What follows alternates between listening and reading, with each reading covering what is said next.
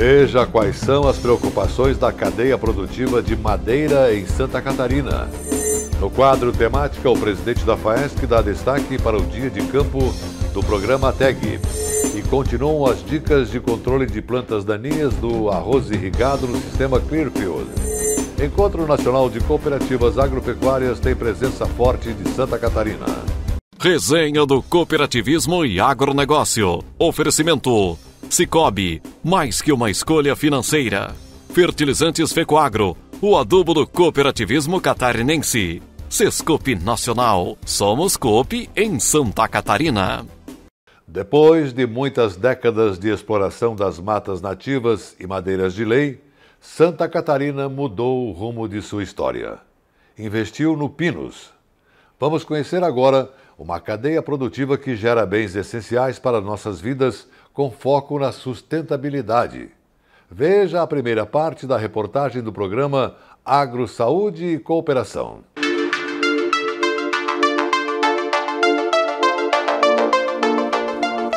Só quando a gente olha ao nosso redor, de dentro e de fora da nossa casa, que a gente percebe o quanto a madeira faz parte das nossas vidas. Está na estrutura, no piso, nos móveis, utensílios, nos instrumentos musicais, no barco, carvão, está no papel.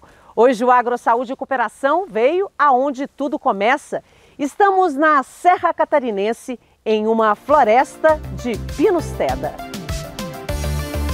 A maior parte do país investiu no cultivo de eucalipto, mas essa foi a espécie que mais se adaptou ao clima do sul do Brasil.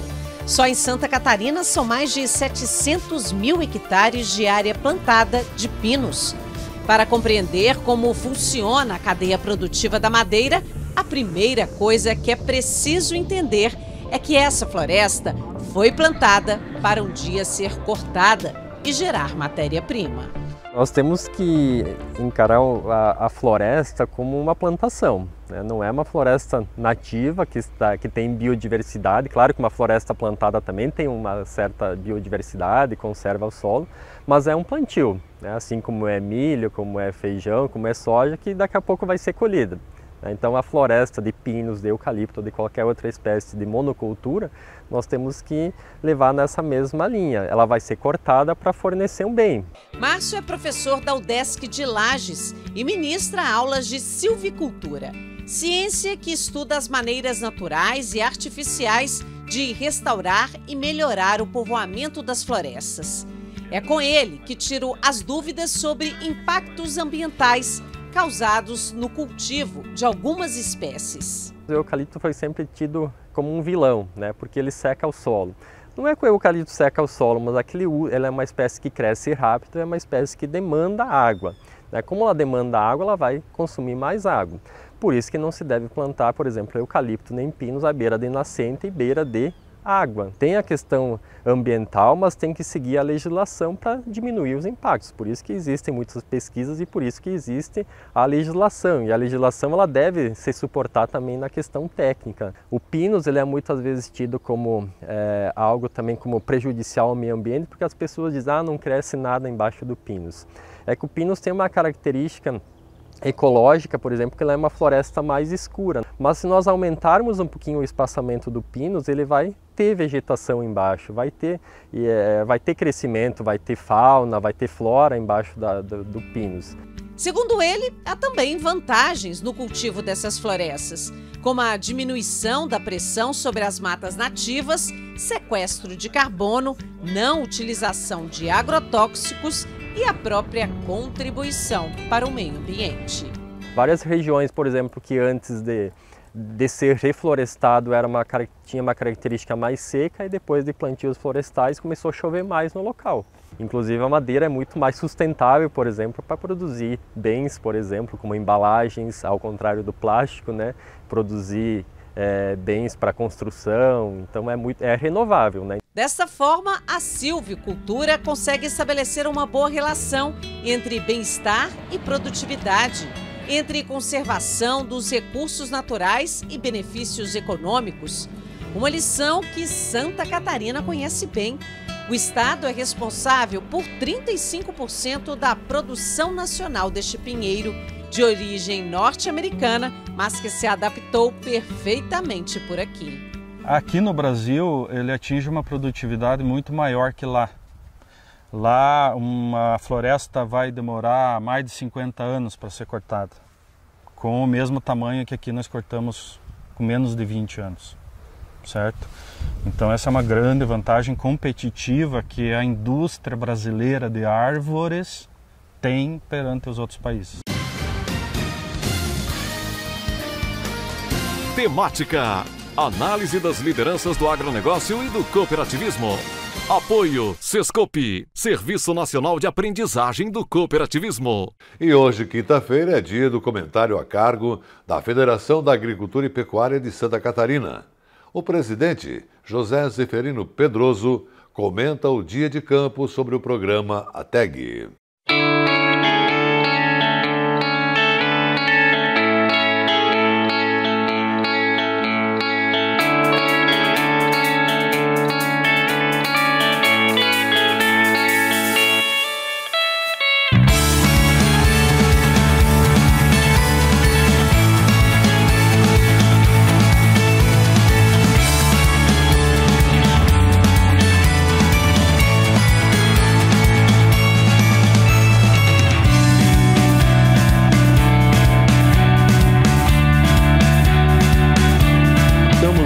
Campos Novos, num dia de campo, promovido iniciativa e liderança do nosso Sindicato de Produtores Rurais Camponovenses, ao nosso presidente Gris, e dizer que para nós que presidimos o Senar e a Federação da Agricultura no Estado, é muito importante e nós queremos aqui registrar que eventos como esse nós estamos é, multiplicando em todo o estado de Santa Catarina e todos os meses. Só nesse, agora vamos ter um número significativo e queremos agradecer a presença e esse aqui serve como estímulo, porque os nossos técnicos vão individualmente nas propriedades levar a mensagem do conhecimento e aqui eles dão a oportunidade àqueles que prestigiam, como hoje um grande número de produtores filiados ao ATEC de toda a região do meio oeste catarinense tiveram a oportunidade de receber, em primeiro lugar, a informação, a teoria de, de um palestrante, Dr. Piva, conhecedor do setor de adubação, da pastagem, e na parte da tarde nós estamos conhecendo o exemplo que é dado por uma propriedade que abraçou a TEG e colocou em prática os seus conhecimentos. Parabéns à propriedade dos nossos que nos receberam hoje, parabéns ao sindicato e o nosso agradecimento a todos que confiam no sistema FAESC Senar e principalmente nesse programa que deu certo e veio para ficar. Assistência técnica e gerencial.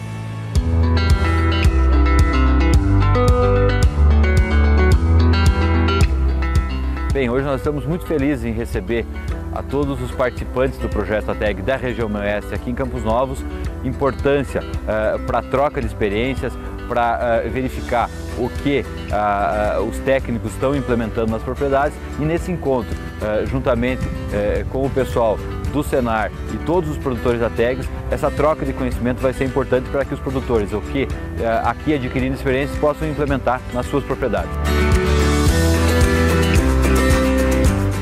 Esse evento trouxe muita inovação para nossa propriedade, muitas tecnologias novas foram trazidas, mudou a genética do gado, mudou o manejo, mudou a correção das pastagens e só trouxe melhorias para nossa propriedade, aumentou a renda e estamos aí lidando.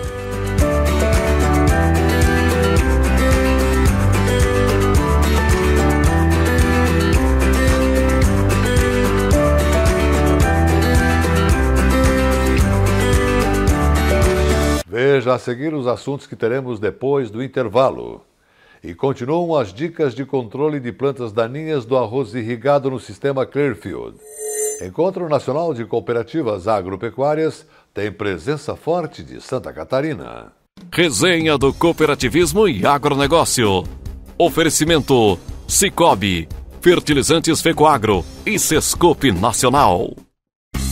Fertilizante com Algem é 100% de origem biológica vegetal produzido com algas marinhas. Contém mais de 70 nutrientes minerais e orgânicos de alto aproveitamento. Potencializa a germinação da planta, dando um maior poder de arranque muito maior e melhora as condições físicas, químicas e biológicas do solo. Aumente a produtividade de sua lavoura utilizando o nobre Cooper Pasto com Algem, uma nova tecnologia em adubo com um novo conceito e mais sustentável. Exclusividade Fecoagro. Eu só queria te contar sobre o cooperativismo financeiro. A união de pessoas. Gente que não é só cliente, é dona e dono. Isso é ter voz. Participação até nos resultados. Cooperativa não é banco nem fintech. É inclusão de verdade. E quanto mais gente fizer parte, maior será a transformação. Tá aí a explicação. Explicação, tem explicação, explicação. Mais que uma escolha financeira. Cicobi. Agricultor. Em época de elevação dos custos de produção e escassez de fertilizantes, o caminho é aumentar a produtividade para não perder lucratividade. Fertilizantes especiais com tecnologias de ponta aumentam o rendimento na lavoura. A linha nobre de adubos da Fecoagro assegura maior produtividade na mesma área. Os fertilizantes nobre atendem a todas as culturas. O Cooper Animais e o Cooper Pasto são produtos diferenciados que ajudam você a economizar. Peça nobre na sua cooperativa. Tenha garantia Fecoagro. A FECOAGRO disponibiliza ao mercado de fertilizantes novas tecnologias de nutrição e proteção de grânulos. O Cooper N+, com duas moléculas de proteção, reduz perdas por volatização e lixiviação, facilitando a sua aplicação e otimizando a absorção pelas plantas. Aumente o aproveitamento de nitrogênio na sua lavoura usando Ureia Cooper N+, um produto com mais proteção e de fácil manejo. Produtos exclusivos da FECOAGRO. Peça já na sua cooperativa. As notícias do agronegócio e do cooperativismo de Santa Catarina estão em todas as mídias. Veja no site www.fecoagro.coop.br uma variedade de informações de interesse do homem do campo. Diariamente tem notícias do cooperativismo, informações do mercado agrícola, tem comentários, tem os vídeos da Fecoagro, acesso aos sites das cooperativas, tem os programas de rádio da Fecoagro e tem também o acesso à TV Cop.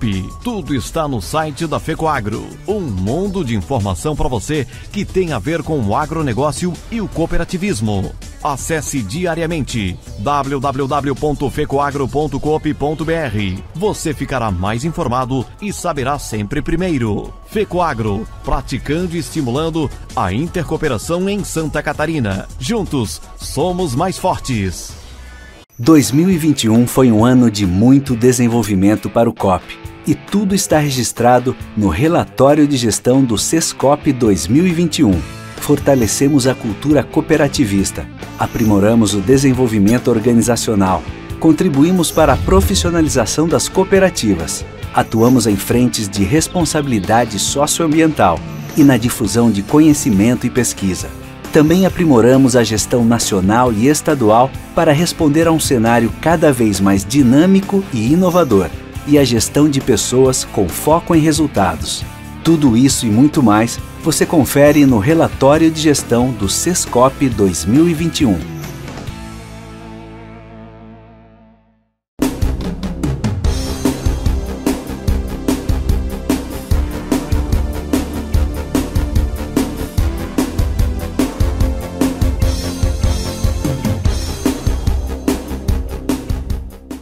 No cooperativismo, todos são donos e responsáveis pelo negócio, que oferece melhores condições e preços mais justos. Aqui, cada cooperado tem um voto. E tudo é definido de forma democrática. Um modelo diferenciado que busca resultados positivos para todo mundo e para o mundo todo. E se preocupa não apenas com o bem-estar do grupo, mas com as necessidades de toda a comunidade. Nas cooperativas funciona assim. Identificar riscos e oportunidades é uma tarefa da diretoria. É ela que define os melhores caminhos a seguir. E com a ajuda do Conselho Fiscal, todas as atividades têm total transparência. Já no dia a dia, as decisões administrativas são tomadas por uma equipe técnica. Essa estrutura existe para representar todos os cooperados, gerar mais negócios e mais resultados. No cooperativismo é assim: todos contribuem e todos se beneficiam, sem deixar ninguém para trás. Vem com a gente, juntos somos mais fortes. Acesse somos.coop.br e saiba mais. E continuamos hoje a mostrar o vídeo da Epagre sobre controle de plantas daninhas no arroz irrigado. Conheça as técnicas utilizadas para o sistema Clearfield de produção. As explicações são do pesquisador José Noldim. Então vamos assistir a segunda parte. Então tem que ser o ponto correto para fazer a aplicação sem atingir o arroz. Nesse caso aqui, se o produtor aguardasse mais um ou dois dias, o arroz já vai estar fora do solo. E aí o herbicida que ele vai aplicar estaria matando também o arroz. Então é fundamental fazer essa aplicação do ponto de agulha no momento correto. Todas as plantas que nós vemos aqui, que já estão emergidas, é ou é arroz daninho ou é semente de cultivares do ano, dos anos anteriores. Então com isso ele está fazendo esse primeiro controle e aí é fundamental as duas aplicações sequenciais do herbicida do sistema Clearfield, que vai então controlar essas plantas que vão emergir a partir de agora até ali pelos 15 a 20 dias do, após o estabelecimento do arroz. Um ponto importante nesse período de entre a semeadura, após a semeadura do arroz, é a umidade no solo. Nós podemos observar aqui que nós temos sementes que foram semeadas, que ficaram muito superficiais e não tiveram condições de absorver umidade. Portanto, elas não iniciaram ainda o processo de germinação. Então, numa condição dessa, é importante que o produtor, se ele não tiver, não tiver ocorrido nenhuma precipitação, não tiver chuva, que ele pudesse fazer, dar um banho. Então, com o banho, todas essas sementes estariam teriam germinado e estariam no mesmo estádio. Então, certamente elas vão germinar, mas no momento que tiver umidade adequada do solo. Uma questão importante para controlar isso é, numa condição de solo dessa, é o produtor fazer a semeadura um pouco mais profunda. Que aí ele vai ter, a semente vai ser posicionada numa condição melhor de umidade para absorver a umidade do solo. Se ela ficar muito superficial no solo solto, como nós podemos observar em alguns locais aqui, ela vai, não, vai ter, não vai germinar, não vai emergir. Logo após a aplicação dos herbicidas em pós-emergência, tanto no sistema pré-germinado como no sistema Clearfield, é fundamental que o produtor faça aplicação, a primeira dose de nitrogênio. Essa aplicação pode ser feita imediatamente no dia seguinte e seguida da irrigação da lavoura. Porque se ele retardar a irrigação da lavoura, vai haver reinfestação de planta daninha. Então a aplicação de nitrogênio é fundamental, antecedendo a irrigação, logo após a aplicação do herbicida. Independente do sistema de cultivo que o agricultor está utilizando, seja o sistema pré-germinado, seja o sistema Clearfield, semeadura em solo seco, é fundamental o produtor ter um equipamento adequado para aplicação dos herbicidas e seguir todas as recomendações em relação à aplicação. A gente, nós temos percebido com muita frequência que o insucesso de controle muitas vezes não está relacionado ao herbicida que ele escolheu, mas está relacionado à aplicação que ele utilizou, devido a falhas de aplicação. Então ele precisa ter um equipamento adequado, adequadamente calibrado, utilizando bicos adequados que sejam recomendados para pulverização de herbicidas e que observe as condições climáticas. E destacamos ainda que a capacitação dos operadores é fundamental, sempre devendo estar utilizando equipamentos de IPI adequados para que estejam protegidos e assim como os equipamentos de, de aplicação, como destacamos. E importante, a vazão que o produtor vai utilizar, ele tem que seguir aquela recomendada para cada herbicida. Porque se ele utilizar vazões, volumes de, de cauda muito alto ou muito baixo, isso vai interferir na eficiência, no resultado final uh, da aplicação que ele vai realizar.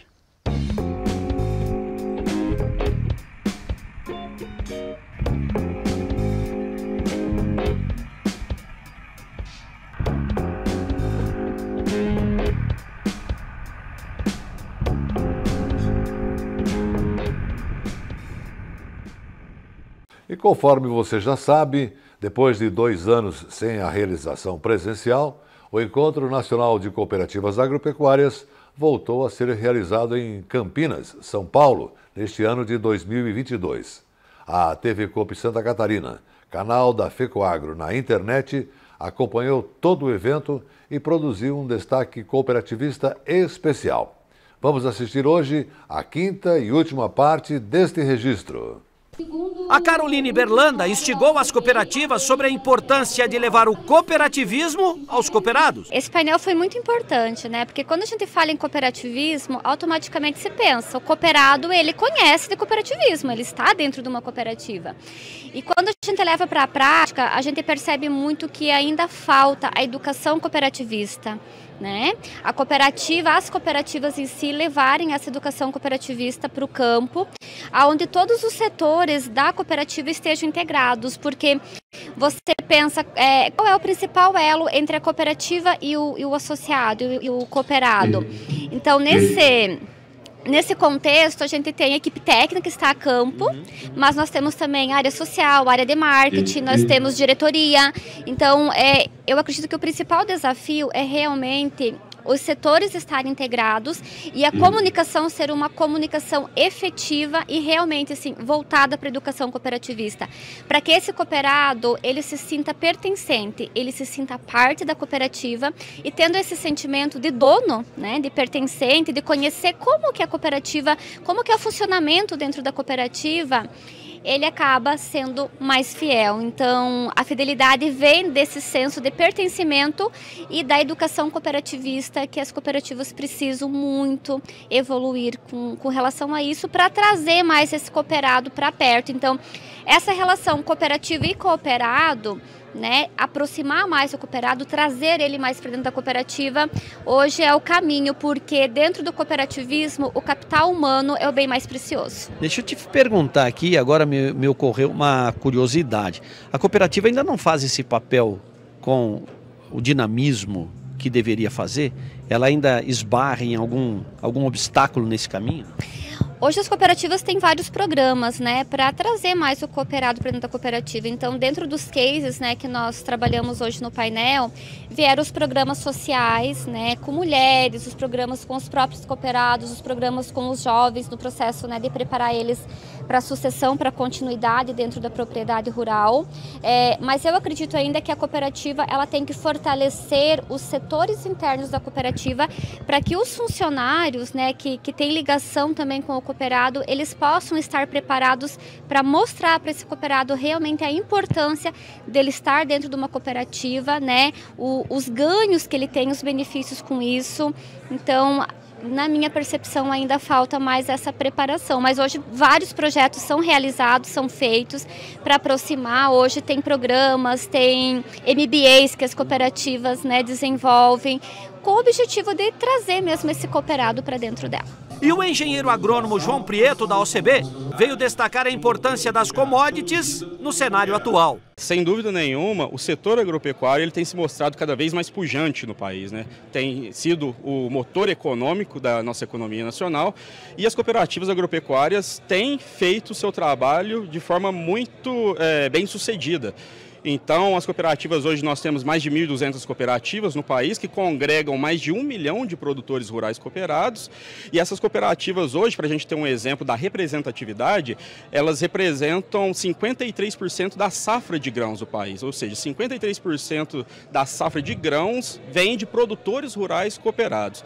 Então, isso mostra a relevância do nosso modelo, a pujança do nosso modelo e que esse crescimento do cooperativismo ele tem muito a contribuir para o país país. Né? Então, da mesma forma, a gente pode dar como um exemplo também o nosso modelo de negócio como significante para o pequeno produtor rural. Hoje, mais de 70% do quadro social das cooperativas agropecuárias é formado por é, agricultores familiares.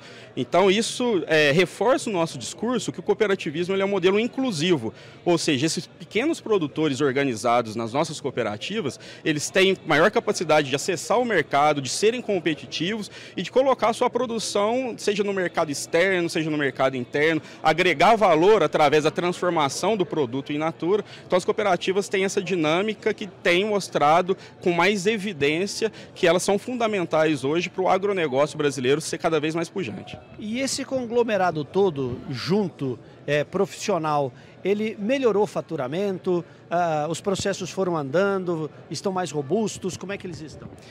É, as cooperativas nos últimos anos ela tem cada vez mais se profissionalizado, aprimorando a sua gestão, aprimorando a sua governança, e isso tem feito que os resultados das cooperativas também é, têm se alavancado ano após ano. E a, as cooperativas, até pelo próprio modelo de negócio, onde a preocupação é com o cooperado, em momentos de crise, como que a gente viveu no, no passado recente agora, elas têm que se manter no mercado atuantes, têm que manter seus investimentos, então elas aproveitaram essa dinâmica dinâmica onde as commodities principalmente se valorizaram bastante para agregar valor e retornar para o seu cooperado. Então a dinâmica de faturamento e ingresso das cooperativas também foi muito pujante nos últimos anos e a tendência é que esse movimento continue. Assim se constrói o futuro, debatendo tendências, observando cenários, criando alternativas.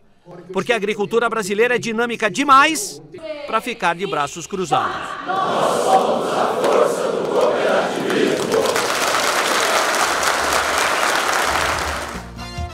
Destaque Cooperativista. Oferecimento: O Sesc Sescope Santa Catarina. Onde tem vida, tem cooperativismo. Sempre que as pessoas se movimentam de forma cooperativa, caem todas as barreiras para o crescimento. Essa é a essência do cooperativismo, modelo fundamental para a melhora na qualidade de vida de todos. Quem abraça o cooperativismo sabe que pode mais. Se hoje Santa Catarina avança forte em direção ao futuro, muito se deve às pessoas que se unem pelo desenvolvimento. O Sesc Sescope Santa Catarina. Não existem barreiras quando a gente se une. E com o destaque marcante da presença de Santa Catarina no Encontro Nacional de Cooperativas Agropecuárias, o nosso resenha do cooperativismo e agronegócio de hoje termina aqui. Um grande e cooperado abraço para você e sua família e até amanhã, neste mesmo horário.